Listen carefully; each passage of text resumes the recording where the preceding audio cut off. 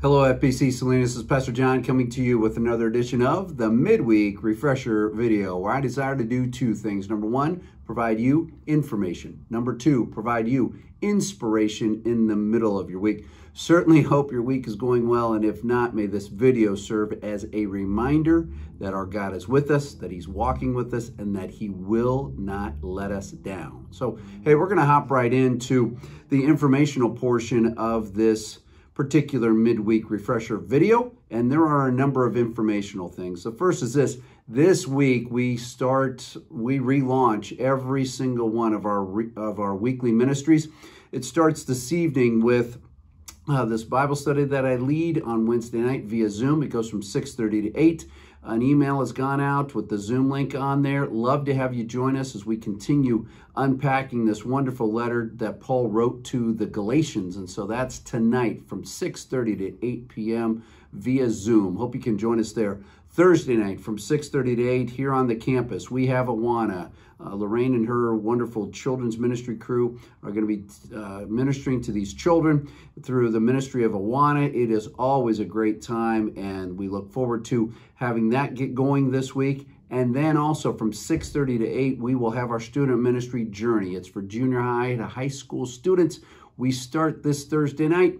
Looking forward to it. We'll meet originally in the gym and then we'll make our way over to the youth room. And I look forward to how God is going to guide our student ministry this particular year. We have a lot of exciting things coming our way, and we look forward to having students' lives be impacted by God's grace. So that's for Wednesday and Thursday. This upcoming Sunday, whether uh, this is a rather odd thing, but normally every Sunday we have spiritual formation at 9 a.m. This Sunday, due to Labor Day weekend, we will not have spiritual formation classes at 9 a.m. So keep that in mind. We will gather for worship in the sanctuary at 1030, and that leads to this. We have our annual Labor Day picnic this Sunday right after the worship service.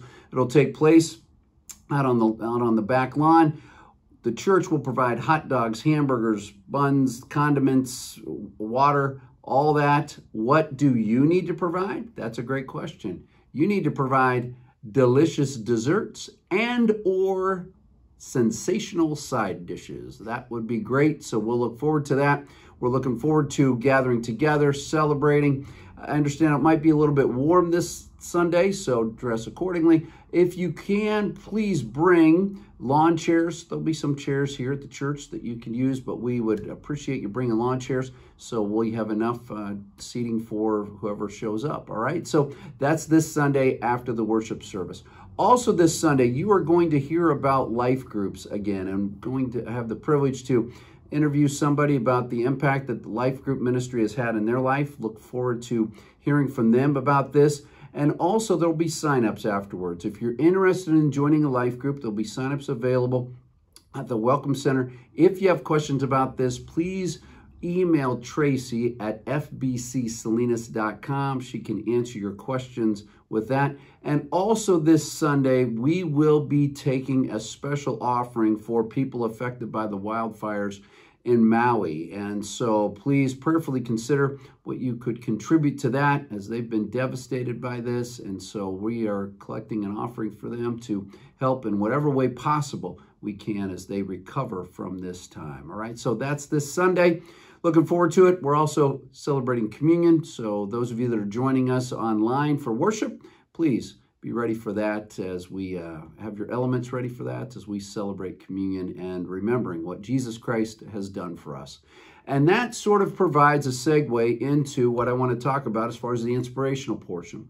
Part of my devotional time is reading a psalm every single day along with the gospel and or a chapter of the gospel and so forth and so on. But I was struck by this psalm. It's Psalm 79.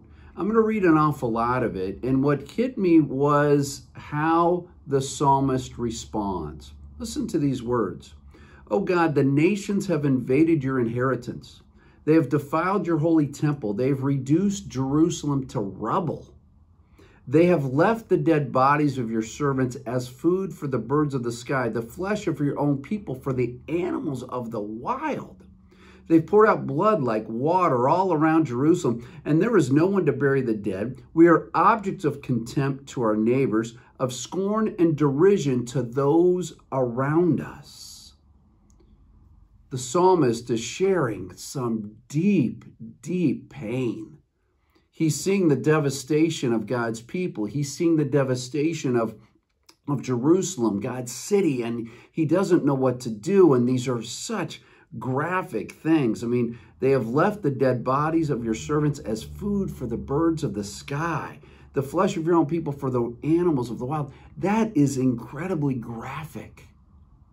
And he can't, he is trying to understand what's going on. And then he comes to this, begins to reach a conclusion in verse 5. He says, How long, Yahweh? Will you be angry forever? How long will your jealousy burn like fire?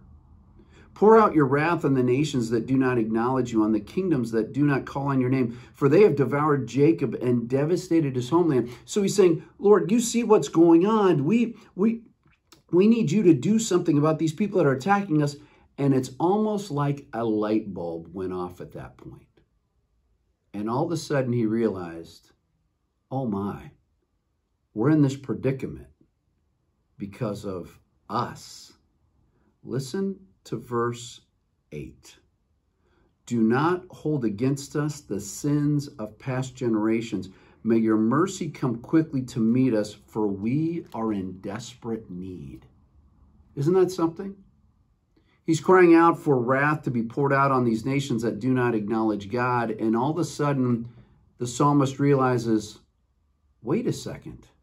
We're the ones that have gone astray. We're the ones that have sinned. We're the ones that are in past generations, they've done this, this, and this, and there are consequences. And then he says this, and I find this very, very interesting. Verse 9 Help us, God our Savior. He cries out for help. Our sin leads us to places that we never anticipated going. Our sin leads us to treating people poorly. Our sin leads us to being angry when we need to show we need to show forgiveness and grace. Our sin leads us to places of isolation where we think that nobody cares.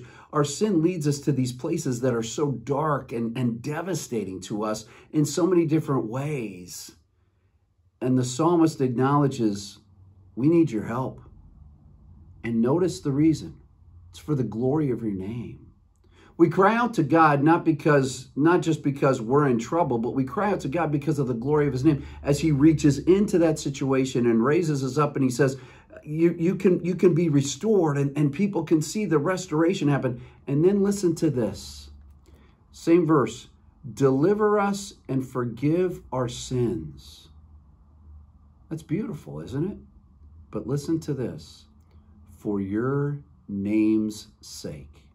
He doesn't say deliver us and forgive, forgive our sins for us.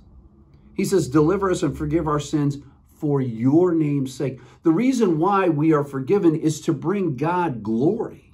The reason why we are forgiven is to it's to live a life that that is free from from the from the from the just the the nastiness, the isolation of our sin. The reason why we're forgiven isn't just for those reasons. The reason why we're forgiven is because it brings God glory. You're forgiven upon placing your trust in Jesus Christ. I'm forgiven upon placing my trust in Jesus Christ. And that happened a long time ago, and he continues to do that. John says these words in First John. He says, If we confess our sins, he is faithful and just to do what?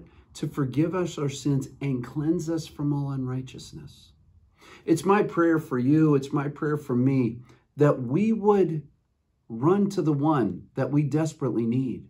And that as he forgives us, that that forgiveness would cause us to bring him more glory so that other people can see there's a beautiful thing called forgiveness and it's found in Jesus Christ.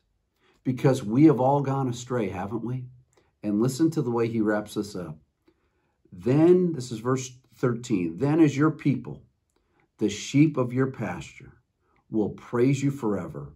From generation to generation, we will proclaim your praise. Take some time today, take some time this week, and bring praise to the Lord Almighty, who has forgiven you of your sin, not just for you, but for his sake. And as you do that, May other people experience the power of seeing how forgiveness can work in their lives by turning to Jesus Christ, just as you have, just as I have. And may that bring him all the glory. God bless you. Have a great rest of the day, and I look forward to continuing following after Jesus alongside you. We'll talk to you later.